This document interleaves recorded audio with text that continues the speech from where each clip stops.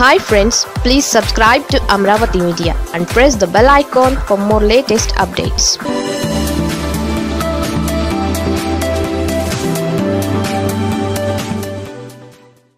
Chandrababu Naidu garu మాట్లాడుతూ నెల్లూరు జిల్లాకు సంబంధించి పాడి ప్రొక్యూర్మెంట్ జరగట్లేదు. రైతులు దాదాపు నాలుగు వందల ఐదు వందల కోట్లు నష్టపోతున్నారు. వైసీపీ ప్రభుత్వం రైతుల వెన్నెముక విరుస్తుంది. రైతుల్ని ఆదుకుంది నేనేదంటూ ఎందో దీంత దీంతో ఒక లేఖ రాశాడు.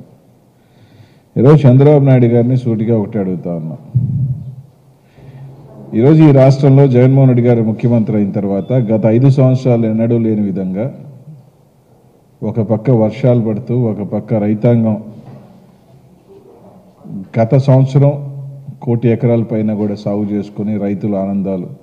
ఈ సంవత్సరం కూడా కోటి ఎకరాల పైన పోయిన సంవత్సరం కన్నా ఎక్కువ కూడా పంట వేసుకునే పరిస్థితి ఈ రాష్ట్రంలో ఉంది. ఎక్కడెక్కడ గిట్టుబాటు ధర రావట్లేదు. ప్రతి పంటకి జగన్మోహన్ రెడ్డి గారు మూడు వేల కోట్ల స్థిరీకరణ నిధిని ఏర్పాటు చేసి అనేక ఎక్కడెక్కడ చిన్న చిన్న సంఘటనలు టొబాకో కావచ్చు రకరకాల ఎక్కడైతే దాదాపు ప్రభుత్వానికి నష్టం అనేది లేకుండా రైతు బాగుండాలా రైతు ఆనందంగా ఉండాలా అని చెప్పి రైతు నష్టపోకూడదు అని చెప్పి అనేక దగ్గరలో కూడా గిట్టుబాటు ధర అందిస్తూ దాన్ని ప్రభుత్వమే ప్రక్యూర్ చేసిన సంఘటనలు గత సంవత్సరం అనేకం చూసాం. ఎప్పుడూ లేని విధంగా ఎక్కడా లేని విధంగా కూడా చూసాం.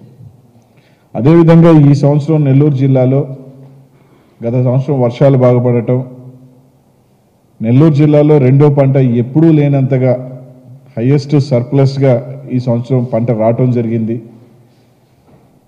అయితే చిన్న చిన్న ఇబ్బందులు ఏంటంటే వర్షం అనేది మామూలుగా నెల్లూరులో ఈ సీజన్లో ఎప్పుడూ కూడా గత పది పదిహేను సంవత్సరాల్లో కూడా ఎప్పుడు కూడా ఈ నెలల్లో ఎప్పుడు కూడా వర్షం అనేది హార్వెస్ట్ ఈ టైంకు రావటం జరిగింది.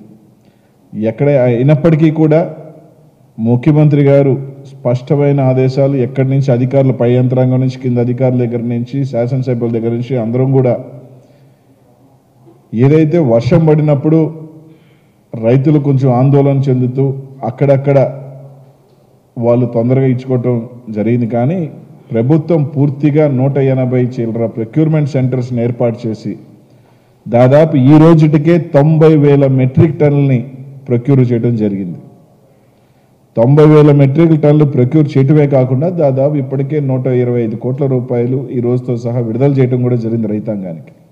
ఎక్కడికి ఎక్కడికి మిల్లర్లు సహకరించపోయినా కొంతమంది వాళ్ళని కూడా మాట్లాడి పక్క జిల్లా మాట అది ఈస్ట్ గోదావరి గుంటూరు ప్రకాశం మిల్లర్స్తో కూడా మాట్లాడి రైతులు ఎక్కడా నష్టపోకూడదు రైతులందరూ కూడా బాగుండాలా ఆ చిన్న జాగ్రత్తలు ఖచ్చితంగా అన్నీ కూడా తీసుకోండి అని చెప్పి ప్రతి ఒక్కరూ కూడా ప్రతి నిమిషం మానిటరింగ్ చేసుకుంటూ చేస్తూ ఉన్నారు ఈ ప్రొక్యూర్మెంట్. ఎందుకంటే సడన్గా వర్షం రావటం రైతులు కూడా కొందరు వర్షాలు పడుతున్నాయేమో అని హార్వెస్ట్ చేసుకో హార్వెస్ట్ చేసేయటం.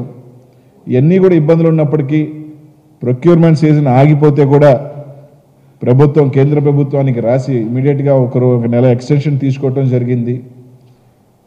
ఈరోజు కొన్ని వెరైటీలు ఎందుకంటే నెల్లూరులో వేసిన వెరైటీలు కొన్ని కొన్ని చూసుకుంటే double three five four variety ఏదైతే మాయిశ్చర్ కూడా ఈ వర్షపాతం వల్ల వీటి వల్ల కూడా తేమ శాతం కూడా దాదాపు ఇరవై ఏడు ఇరవై ఎనిమిది శాతం మాయిశ్చర్ ఉన్న చాకీ ఎక్కువ ఉంది బ్రోకెన్స్ ఎక్కువ ఉన్నాయి అని చెప్పి మిల్లర్స్ కొంచెం ఉన్నా కూడా మిల్లర్స్ మీద ఇది తీసుకొచ్చి ప్రభుత్వమే దాన్ని పూర్తిగా కూడా ప్రతి గింజ కూడా మేమే తీసుకుంటాం ప్రభుత్వం ప్రొక్యూర్ చేసుకుంటుందని చెప్పి ముఖ్యమంత్రి గారు ఎక్కడ కూడా ఇబ్బంది పడకూడదు అని చెప్పిన తర్వాత అధికారులు అందరూ కూడా దాని పని మీదే ఉన్నారు కలెక్టర్లు కానీ ముఖ్యంగా శాసనసభ్యులు అందరూ కూడా ఈరోజు చేస్తూ ఉంటే ఈరోజు దాన్ని తీసుకొని వచ్చి చంద్రబాబు నాయుడు గారు ఒక విష ప్రచారం రైతులకి నేనే అండదండి. ఈరోజు ఒకటి అడుగుతా ఉన్నాం. నీ ఐదు సంవత్సరాలలో అనేక రకాలు ఎక్కడెక్కడ ఇబ్బందులు పడుతున్నా కూడా ఈ రోజు కూడా పట్టించుకోను నువ్వు. ఈరోజు ఈ ప్రభుత్వం ఎక్కడికి ఎక్కడికి గిట్టుబాటు ధరను అందిస్తూ ఈరోజు పూర్తిగా కూడా ఈరోజు అధికారులు ముఖ్యంగా నెల్లూరు జిల్లాకు సంబంధించి ప్రతి రైతుకి ఒకటే చెప్తున్నాం ప్రభుత్వం పూర్తిగా కూడా ప్రొక్యూర్ చేస్తుంది. అన్ని మిల్లర్కి సంబంధించి ఎవరెవరు దీనికి సహకరించట్లేదో వాళ్ళందరినీ కూడా అప్పీల్ చేయడం జరిగింది. వాళ్ళందరూ కూడా ఇప్పుడు మిల్లర్స్ కూడా అందరూ కూడా సహకరిస్తూ ఉన్నారు. ఏదైతే వాళ్ళకున్న అపోహలు ఈ చాకీ కానీ బ్రోకెన్స్ వర్షాల వల్ల కానీ డిస్కలరేషన్ ఉన్నాయో అవన్నీ కూడా పూర్తిగా గవర్నమెంటే ప్రొక్యూర్ చేయమని చెప్పి ఆదేశాలు కూడా జారీ చేయడం జరిగింది. అంతా కూడా ప్రభుత్వమే తీసుకుంటుంది. ప్రభుత్వానికి నష్టం గురించి కదా రైతు బాగుండాలి అని చెప్పి ఈ నిర్ణయం ముఖ్యమంత్రి గారు కూడా తీసుకోవడం జరిగింది. ఈరోజు ఈ ప్రభుత్వం వచ్చిన తర్వాత రైతుకి అండదండలుగా రైతాంగం ముఖ్యంగా ప్రతి రైతు బాగుండాలని రైతు భరోసాలో కొన్ని లక్షల మంది వాళ్ళకి ఆర్థిక సాయం దగ్గర నుంచి ఈరోజు రైతు భరోసా కేంద్రాలు పెట్టి సీడ్ దగ్గర నుంచి వాళ్ళకి క్వాలిటీ సీడ్ దగ్గర నుంచి ఎరువుల దగ్గర నుంచి అంతా కూడా వాళ్ళు ఆ ఊరిలోనే తీసుకునే విధంగా క్వాలిటీ ఉండే విధంగా దాదాపు రైతు భరోసా కేంద్రాలు ప్రతి గ్రామంలోనూ ఏర్పాటు చేసిన ప్రభుత్వం ఈ ప్రభుత్వం.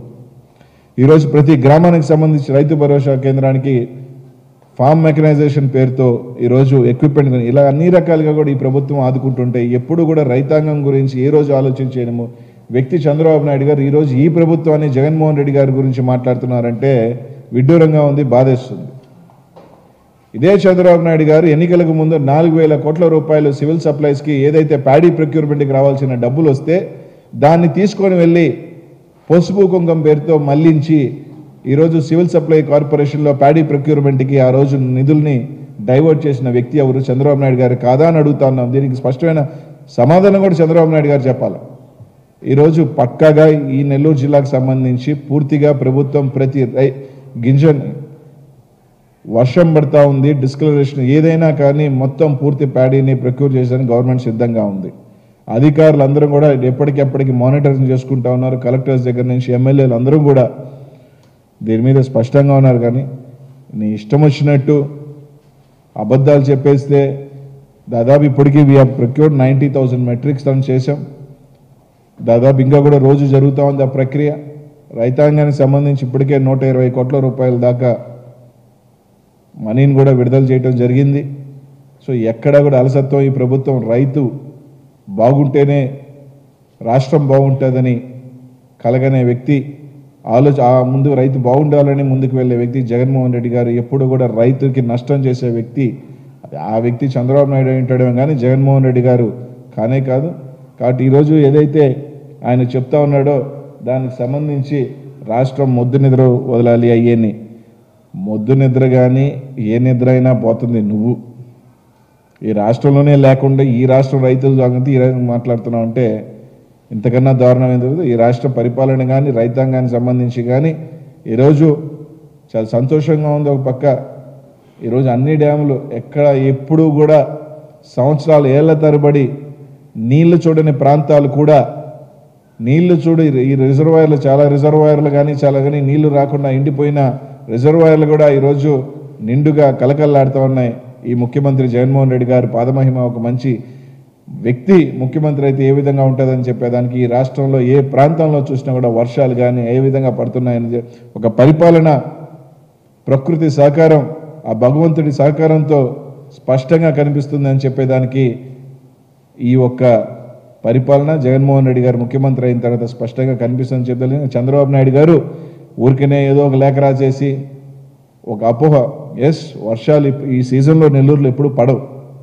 అయినప్పటికీ నాన్ స్టాప్గా వర్షాలు పడతా ఉన్నాయి హార్వెస్ట్ టైంకి పడుతున్నప్పుడు చిన్న చిన్న ఇబ్బందులు ఉన్నాయి. డిస్కలరేషన్ ఎక్కువ ఉంది. అయినా కూడా వాటిని అన్నిటి కూడా ప్రభుత్వం భరోసా ఇస్తూ మేము ఉన్నాం. రైతులకు కూడా మేము పదే పదే చెప్తున్నాం. ఎవరు భయపడాల్సిన అవసరం లేదు. ప్రతిదీ కూడా గవర్నమెంట్ ప్రక్యూర్ చేస్తారని చెప్పిన తర్వాత కూడా కొంతమంది రైతులు తొందరపడో భయపడో వాళ్ళ యొక్క దీంతో కొంత ఫస్ట్లో మిల్లర్స్కి ఇది చేయడం జరిగింది. కానీ తర్వాత రై అందరం కూడా గట్టిగా నిలబడి దాన్ని తీసుకు ఈరోజు అంతా కూడా బాగున్నారు. నీట్గా ప్రొక్యూర్మెంట్ జరుగుతుంది. జరుగుతూ ఉన్నప్పుడు వర్షాలు పడతా ఉన్నప్పుడు ఒకరికొకరు కొంచెం ఒకరు ఇద్దరు సంఘటనలు భయపడి ఇది చేసిన మాత్రాన ప్రభుత్వం ఇది చేయట్లేదు ప్రభుత్వం పట్టించుకోవట్లేదు ప్రభుత్వం ఇది చేయడానికి మాట్లాడటం నిజంగానే బాధ కలిగిస్తుంది. జగన్మోహన్ రెడ్డి గారు స్పష్టమైన ఆదేశాలు జారీ చేశారు. సివిల్ సప్లైస్ ప్రతి ఒక్కరు మంత్రి గారు కొడాల నారాయణ గారు కానీ అగ్రికల్చర్ మినిస్టర్ కన్నబాబు గారు కానీ స్థానిక శాసనసభ్యులు సరే సరేపల్లి శాసనసభ్యులు కోవూరు శాసనసభ్యులు ఎవరైతే ప్యాడీ ప్రక్యూర్మెంట్ మాకు వస్తుందో ముఖ్యమంత్రి ఆదేశాల మేరకు కలెక్టర్లు అందరూ కూడా దాని మీదే ఉన్నారు. ఖచ్చితంగా ఏ ఒక్క దీన్ని కూడా రైతుకి ఇబ్బంది కలిగించే పని ఈ ప్రభుత్వం చేయదని చెప్పి తెలియజేస్తున్నాం పదహారు నెలల్లో ఒక్క రూపాయి అన్నింటి ఆధారపడ్డారు ఉం. కేవలం రాష్ట్రంలో రెండు ఆరోపణ చేసి ఏం చేశారు ఒక రూపాయి అన్నింటి ఓకే సార్ మేము గతంలో కూడా చెప్పా ఏది కూడా బలంగా కోరుకోవద్దురా నాయన తొందరగా వచ్చేస్తుంది అని. సి దేనికైనా కూడా ఒక సిస్టమ్ ఉంటుంది. రాగానే ప్రభుత్వాలు రాగానే తీసుకొచ్చి కేసు కట్టడానికి ఒక ప్రొసీజర్ ఉంటుంది. ఒక ఎక్స్పర్ట్ కమిటీ వేసాం ఒక క్యాబినెట్ సబ్ కమిటీ వేసాం తర్వాత అంతా కూడా దాన్ని సుదీర్ఘ ఇది చేసిన తర్వాత దాంట్లో అవకతవకలు ఎన్ని ఉన్నాయి? ల్యాండ్ ఇన్సైడర్ ట్రేడింగ్ వచ్చేసేసరికి కొన్ని వేల ఎకరాలు కొంతమంది పెద్దలు తెలుగుదేశం పార్టీలో కావచ్చు లేకపోతే కొంతమంది పెద్దలు రైతుల దగ్గర కొనుక్కొని ఇన్సైడర్ ట్రేడింగ్ చేశారన్నది కొంత రుజువు అయిన తర్వాత దానికి సంబంధించి సిబిఐ కూడా ఇచ్చాం. దాని తర్వాత నెక్స్ట్ కోర్స్ ఆఫ్ యాక్షన్ ఏమవుతుందంటే ఏసీబీస్కి వాళ్ళకి హ్యాండ్ ఓవర్ చేయడం జరుగుతుంది కేసు. సో ఇందులో భాగంగా ఇది ఒక రిపోర్ట్ వచ్చిన తర్వాత దాన్ని వాళ్ళు స్టడీ చేయడం జరుగుతుంది. వాళ్ళు స్టడీ చేసిన తర్వాత యాక్షన్ తీసుకోవడం జరుగుతుంది. So this is takes a course of time. ఇదేది కూడా రాత్రి రాత్రి ఇచ్చి పొద్దున చేయం. So this takes a course of time ఈ కోర్స్ ఆఫ్ టైంలో దాదాపు సంవత్సరం పడుతుంది. ఎందుకంటే first expert committee sub cabinet sub committee తర్వాత వేసాం తర్వాత దీనికి సంబంధించి సిబిఐకి ఇచ్చాం. ఈరోజు లోకేష్ గారిని ఒకటి అడుగుతాం తెలుగుదేశం అంటే ఎందుకు? ధైర్యంగా రాయండి సెంట్రల్ గవర్నమెంట్కి. సిబిఐకి విచారణకి మా మీద వేయండి. రాష్ట్ర ప్రభుత్వం ఏదైతే సిబిఐకి లేఖ రాసిందో వాటిలన్నిటి మీద మేము సిద్ధంగా ఉన్నాం సిబిఐకి. కాబట్టి సిబిఐని ఆహ్వానిస్తున్నాం ఈ రాష్ట్రానికి. ఏదైతే మీరు ముఖ్యమైన ఆయన వాళ్ళ ప్రభుత్వం ఉన్నప్పుడు సిబిఐని రాష్ట్రానికి రాకూడదు అని చెప్పారు వాళ్ళు. కానీ ఈ ప్రభుత్వం ప్రతిదానికైనా సరే మేము తప్పు చేయట్లేదు కాబట్టి దేనికైనా సరే మేము నిక్కచ్చిగా ఉన్నాం కాబట్టి మేము సిబిఐ కాదు ఎవరైనా ఎనీ ఏజెన్సీని పిలుస్తూ ఉన్నాం. ఈరోజు. సో మీకు నిజంగా చిత్తశుద్ధి ఉంటే ఆ లోకేష్ గారికి పిలవండి. అయ్యా మీరు లెటర్ రాయండి కేంద్రానికి. మా మీద సిబిఐ ఎంక్వైరీ అండి వీటి మీద మేము సిద్ధమని. అది రాసే ధైర్యం లేదు. కాబట్టి బలంగా కోరుకుంటున్న వ్యక్తులకి బలంగా అనుమానం మా మీద మాకు మేము పోతాం లోపలికి అనుకున్న వ్యక్తులకో లేకపోతే తప్పు చేసామన్న వ్యక్తులకో పదే పదే ఎందుకు టెన్షన్ పడతారు? బలంగా కోరుకుంటున్నారు. ఖచ్చితంగా బలంగా మీకు కోరుకునేది జరుగుతుంది. సి చంద్రబాబు నాయుడు పేరు ఉందా లోకేష్ పేరు ఉందా అన్నది మేము సి దాంట్లో ఎవరెవరు తప్పులు చేశారో అందరి పేర్లు ఉంటాయి. అదేనా? ఎవరెవరు తప్పులు చేశారో? వాళ్ళందరి పేర్లు ఉంటాయి అది ఏసీబీ తెలుస్తుంది కదా. సి దాంట్లో అవకతవకలు ఇలా అని చెప్తాం. దాని రిపోర్ట్ సబ్మిట్ చేసాం. ఆ రిపోర్ట్ బేస్ చేసుకొని తర్వాత వాళ్ళు స్టడీ చేస్తారు ఏసీబీ. ఎందుకంటే దట్ ఈస్ గవర్నమెంట్ ఏజెన్సీ. దాన్ని సిబిఐకి ఇచ్చాం. సో వాళ్ళందరూ తేల్చి దీంట్లో ఎవరెవరు నిర్ధారణ పక్కాగా ఎందుకంటే we're not the agency who is who is one to file a case మేము వీళ్ళు తప్పులు చేశారని చెప్తాం అంతే. తప్పులు చేశారు మేము చెప్పి మేము చేసారు చేశారు ఉండొచ్చు అని చెప్పి మేము సబ్మిట్ చేస్తాం. ఫైనల్గా ఎవరు తప్పు చేశారు ఎవరు దాన్ని తేల్చాల్సింది there is separate departments so వాళ్ళు తెలుస్తారు. సార్ మేము సబ్మిట్ చేసాం కదా. సో కమిటీ సబ్మిటెడ్ ఈ రిపోర్ట్ దెమ్ వాళ్ళు తెలుస్తారు ఎందుకు? వాళ్ళు చెప్తారు కదా. సి సబ్ కమిటీలో మేము ఏమి ఇచ్చాం ఎవరి పేరు పెట్టాం ఇవన్నీ see this is not fair also అదేం నా సంవత్సరం కానీ ఇప్పుడే చెప్పా. ఇప్పుడు కూడా వచ్చేమో రాత్రి వేసి పొద్దున పెట్టాం కదా ఒక ఎక్స్పర్ట్ కమిటీ ఉంటుంది. దాన్ని స్టడీ చేశారు. తర్వాత సబ్ కమిటీ స్టడీ చేస్తారు తర్వాత it will take a course of action. అంతేగాని ఏది కూడా రాత్రి చేసి పొద్దున్న జడ్జిమెంట్ ఇవ్వరు కదా. అదే. అని ఆయన తప్పు చేస్తుంటే ఆయన కంగారు పడుతున్నాడేమో.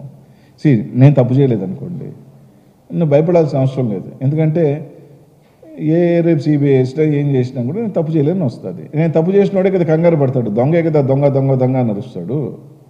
అర్థమైందా? That's what is feeling maybe నేను తప్పు చేసిన లోపలికి పోతానేమో అని ఫీల్ అవుతున్నట్టున్నాడు. ఆయనకి తెలియాలా?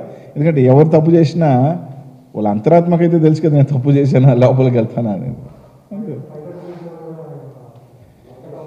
సి మేము ఒక రిపోర్ట్ సబ్మిట్ చేసాం దట్ ఈస్ సిబిఐకి ఇచ్చాం. ఇక్కడ ఇక్కడికి ఇచ్చాం సో వాళ్ళు తేలుస్తారు ఎవరు తప్పులు చేశారు ఎవరు తప్పులు చేయలేదని. ఎందుకు దాంట్లో ఎందుకు తొందర ఎందుకు? లేఖ రాయమనండి లోకేష్ గారిని సిబిఐకి సార్ నా మా మీద విచారణ చేయండి రండి సిబిఐని మేము కూడా స్వాగతిస్తున్నాం చెప్పనట్టు సరిపోతుంది కదా దానికి ఎందుకు తొందర?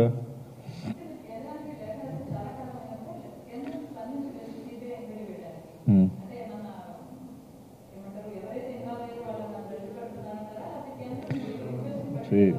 మేము పంపించాము there are so many reasons ఎందుకంటే ఈ మధ్య కోవిడ్ ఉన్నింది. Whatever reasons maybe they will take their own time maybe that doesn't mean మనం ఇచ్చిన రోజు ఇవ్వాలని ఏం లేదు కదా.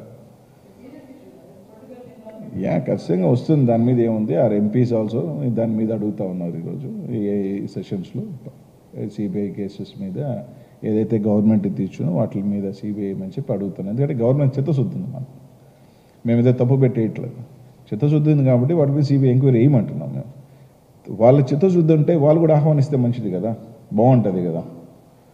మేము తప్పు చేయలేదని నిరూపించుకున్నానికి ఆహ్వానిస్తే బాగుంటుంది కదా. సరే దానికి అనే ఉంది అట్లా ఏముంది వస్తే తొందర ఏముంది? తొందరపడద్దు ఇప్పుడు కూడా అయి అప్పటికే అయిపోయిందంటే ఎట్లా? సి అవన్నీ కూడా సబ్ కమిటీ చేసింది అది వస్తుంది. ఇప్పుడు నేను నేను కూర్చొని నీకు పుస్తకం అంతా వివరించలేను కదా? ఈ వెబ్సైట్ ఓకే మేము సబ్మిట్ చేసాము చేసి వాళ్ళు తీసుకుంటారు అంతే.